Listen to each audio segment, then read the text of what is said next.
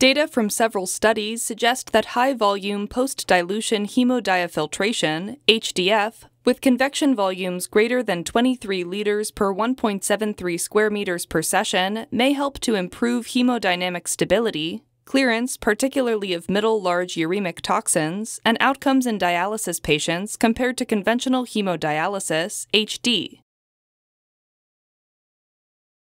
Transitioning a patient from HD to HDF requires a properly functioning vascular access, preferably an arteriovenous fistula, and patient specific stepwise optimization of the dialyzer surface area, blood flow rate, or BFR, needle gauge, and filtration fraction, or FF, to achieve high convection volumes.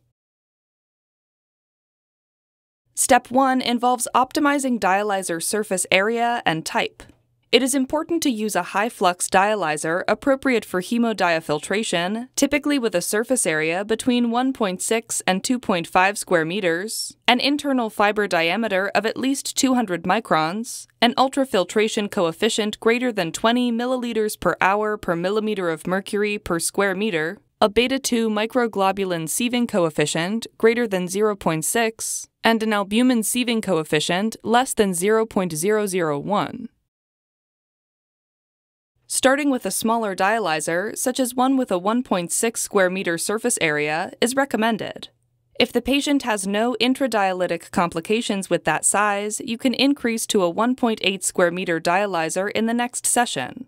Dialyzer size can be incrementally increased in the absence of adverse symptoms to maximize clearance and convection volume.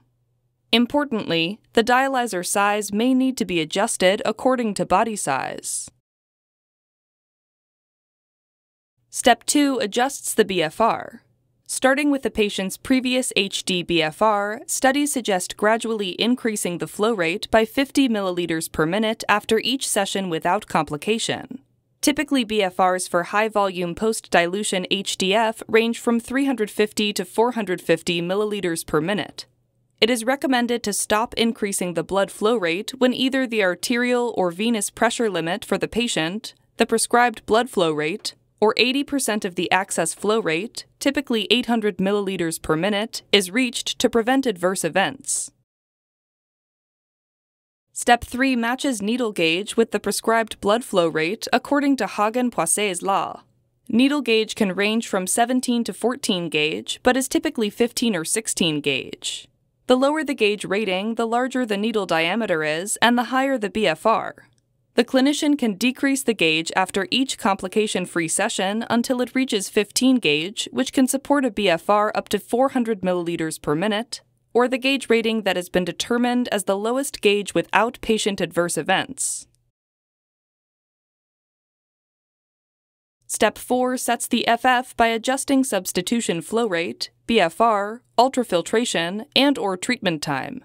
Studies suggest starting with an FF of about 25%. Remember, FF is calculated by dividing the convective volume by the volume of the blood processed, then multiplying by 100.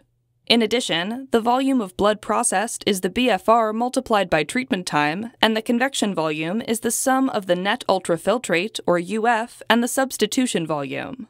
So, for a session with a BFR of 400 milliliters per minute, a treatment time of 240 minutes, and a net UF volume of 2 liters, a substitution volume of 22 liters would theoretically result in an FF of 25%. If tolerated by the patient, then the FF can be increased incrementally by 2% at each of the next sessions until reaching 33% or until intradialytic events occur.